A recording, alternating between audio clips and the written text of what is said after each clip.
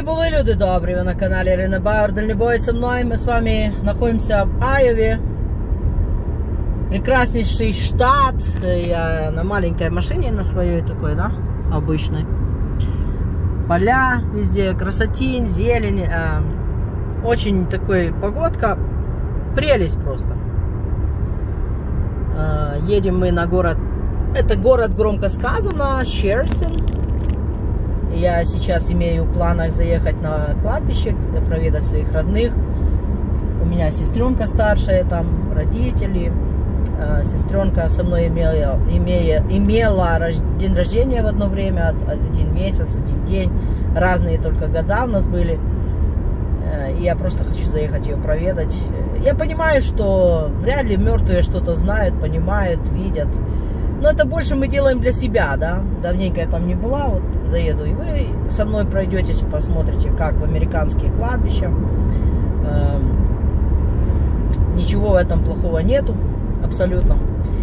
Поэтому э, едем мы, и потом после этого я хочу заехать в русский магазин, так мы их называем, все европейские магазины, которые продают, ну, нашу советскую еду, да, всякие. Э, это еще с времен 90-х пошло это название русский магазин. И он может быть польский, но он будет русский. Ну, так вот называют у нас, я не знаю, американцы, американцы эти иммигранты. Вот.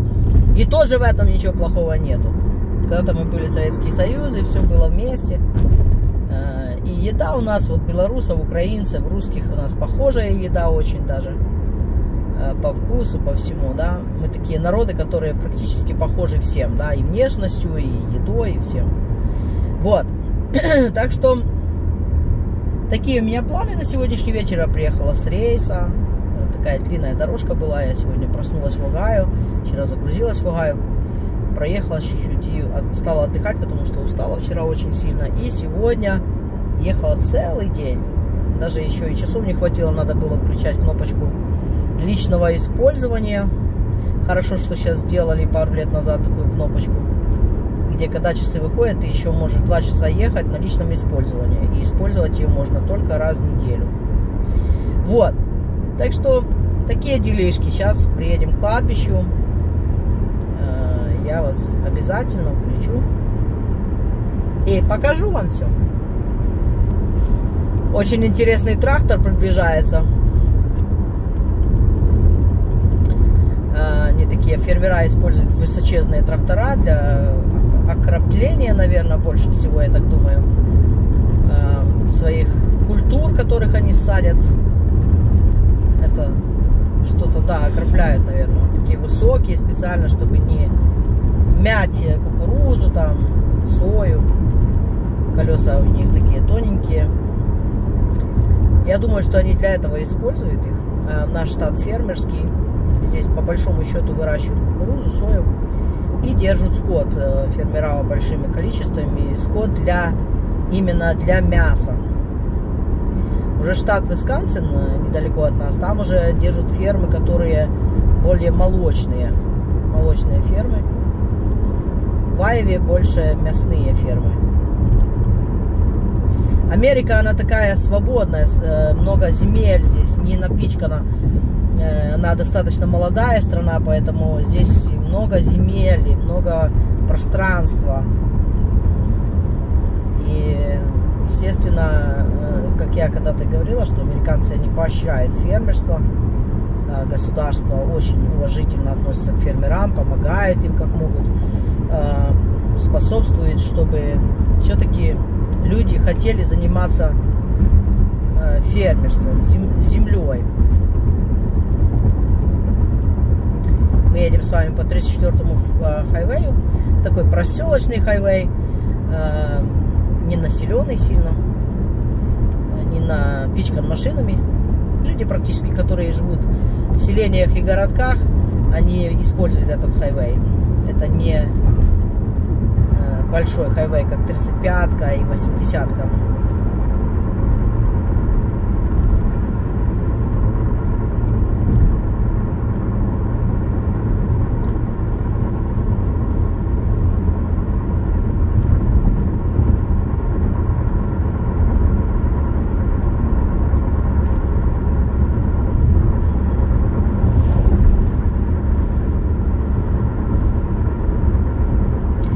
Дом от дома далеко, потому что здесь вокруг, вот сколько едешь, поля, это фермы, фермера в основном живут.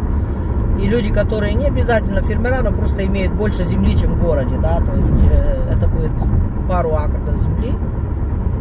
И они живут так друг от друга далеко. Не так, как в городе, как дом возле дома.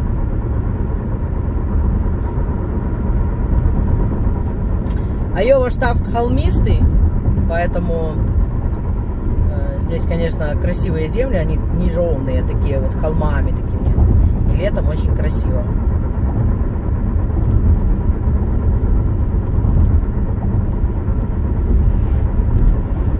Мы уже подъезжаем э, к селению Шератон. Здесь много, кстати, живет людей Советского Союза бывшего, да, Россия, Украина, знаю, какие там еще болгары даже есть. Ну, болгары эти наши, которые жили когда-то в Сандепии. А, по происхождению болгары.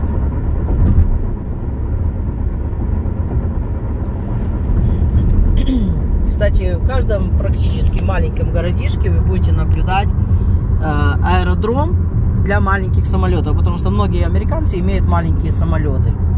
Самолеты обычно не такие дорогие, чтобы вы понимали, вы не думаете, что там миллионеры их имеют. Это не обязательно быть миллионером, они не очень дорогие.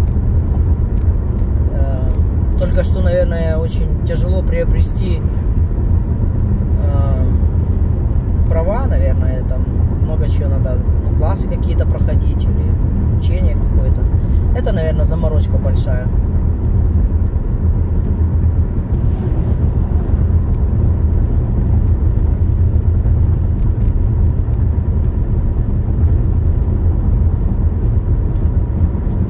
Этот городишко имеет огромный от магазинов э, э, такой центр, где база, база от магазинов, Хайви называется, вот там вывеска большая, набирают на работу, чтобы вы понимали, в Америке, да, э, вот люди, которые работают на погрузчике, ну вот на мультикаре, да, такое, они начинают, стартовая цена 22 с чем-то в час, и через год 25, почти 26 долларов в час человек будет зарабатывать нехватка рабочих в Америке очень большая, поэтому э, везде сейчас платят очень хорошо, но люди почему-то разленились и не хотят работать.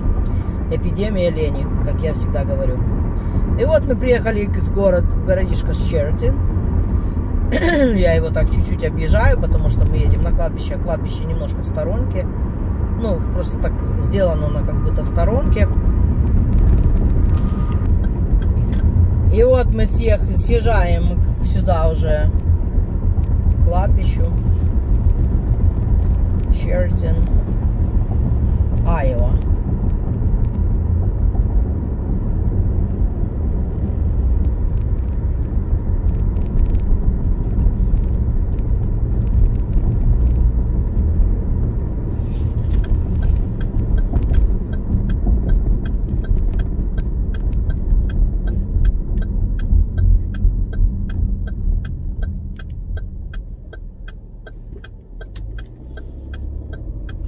Я когда приезжаю в город тишины,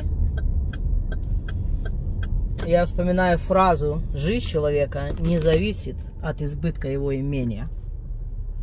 Здесь э, есть фирма, которая делает памятники, все здесь через дорожку получается. И вот мы с вами находимся в городе тишины. Солнышко светит. Американские кладбища, они достаточно сделаны удобно, то есть э, аллейки такие, машиной можно ездить, нету грязи. Травку косят э, обычно, обслуживает кладбище, это, ну это, наверное, городская какая-то, потому что когда покупаешь землю, э, это входит в то, что они обкашивают травку. Это город, от города фирма это. И вот так вот выглядит кладбище. Люди очень часто здесь делают проходочки, если вы вечером не, ничего удивительного, если можно увидеть человека, который просто ходит, потому что здесь тихо и нету машин. Наши кладбища американские, они не выглядят страшно. Вот как нас обычно в Украине заходишь, какой-то страх нападает на тебя. Здесь э, это вообще не так, это как-то наоборот, это как-то расслабляет немножко, ты какое-то такое умиротворение приходит тебе. И сразу понимаешь, что ты следующий, да? Как ни странно. Сейчас мы запаркуемся, чтобы никому не мешать. Вот так вот выглядит. Оно большое достаточно, это кладбище. Разные памятнички, то есть э, они не, э, в этом кладбище не разрешают ставить ограды. Можно только вот обелиски такие ставить. Ну, по-украински обелиски, я не знаю, по-русски. ну, только памятник типа, да.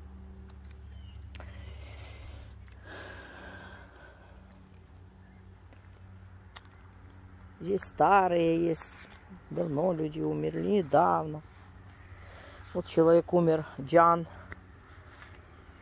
Беннет, Беннет. В 867 году умер в 935 году. Это его, видно, жена. В 61 году умерла, 878 года рождения. Может, дочь даже. Нет, дочь не может быть. 67-й, 10 лет разница. Нет, точно жена, наверное. Вот. Так что разные есть люди. Здесь вот Пенет тоже. Это видно семья какая-то целая. Семья целая здесь. Здесь тоже. Даниэл. Тоже их семья похожа с Бенет семьи, потому что фамилии уже разные. Но видно, находились в этой семье, потому что вот в 832 году, 903 умер человек. В 39 родился, в 934 умер. То есть разные есть памятники. Очень много здесь э, нашего народа уже лежит, европейцев. Имею в виду Советский Союз.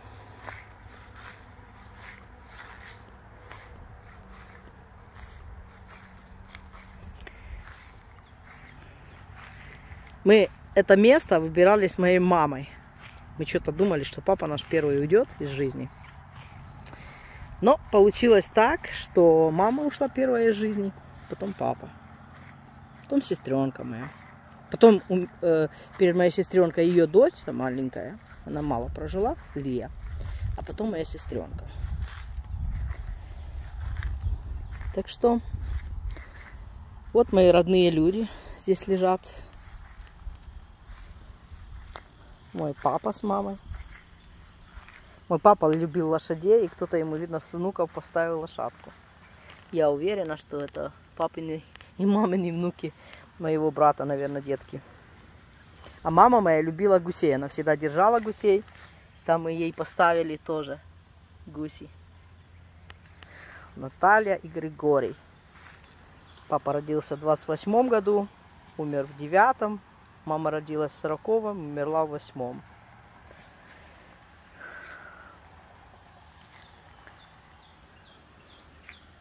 Моя сестренка Лена.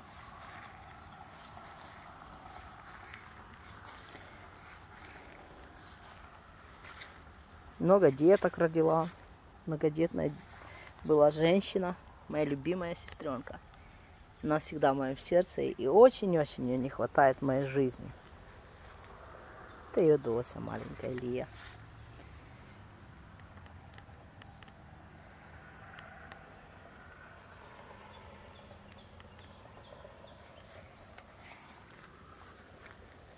Очень классно. Город тишины. Птички поют.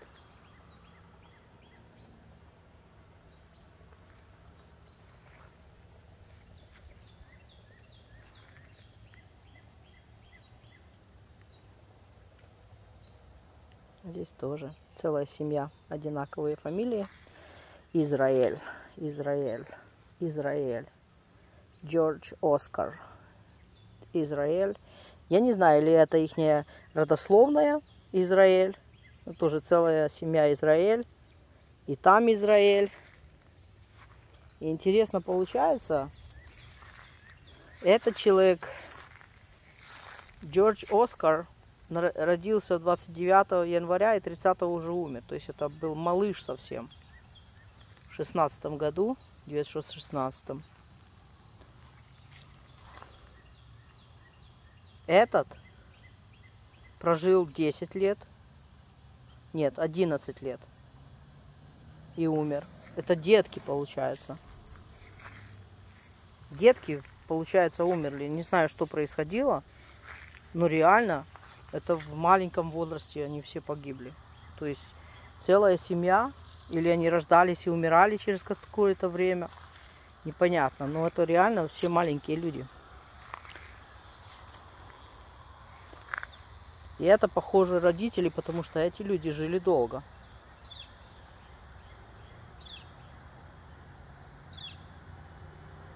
Это женщина, она, походу, родилась в 83-м и в 64-м умерла. Может, это дети этих всех людей. В 877-м, 41-м умерла. Я, короче, не, не знаю, но это тоже семья целая. И американцы, походу, как-то стараются хоронить всех как-то, ну, как династиями, да? Так что, друзья, вот так выглядит американское кладбище. Мы еще сядем машиной и проедемся. А я благодарна вам, что вы со мной прошлись, проведали моих родных людей. Спасибо вам. Сейчас проедемся чуть-чуть. Проедемся сейчас. Здесь дорожки практически ведут э, к разным местам кладбища, то есть к любой стороне идет вот такая асфальтированная дорожка. Я же говорю, у нас нету грязи, везде все скошено, чистенько, красивенько. Это везде так. Мы сейчас проедемся чуть-чуть. Я хочу вам до конца показать это все. Так, объедем кладбище это. Как вы видите, эти развилочки везде чистенько, ухожено. Очень даже.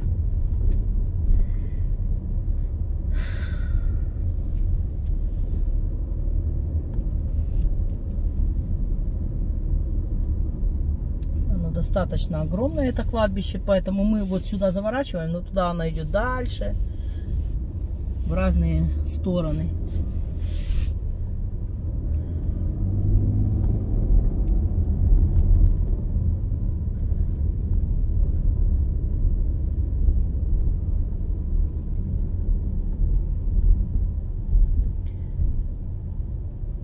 американские кладбища, они похожи чем-то друг с другом но и при этом бывают очень разные. То есть и похожие, и разные в одном.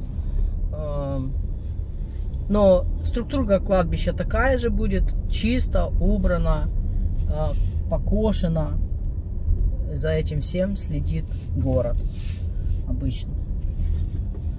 Вот. Так что, друзья, благодарю еще раз, что вы уделили время и проведали моих родных. Я вам всем желаю добра и мира, благополучия, прекраснейших выходных. У меня будет домашний такой а, выходной. Дома я буду. До новых встреч в Ютубе. Всем пока-пока.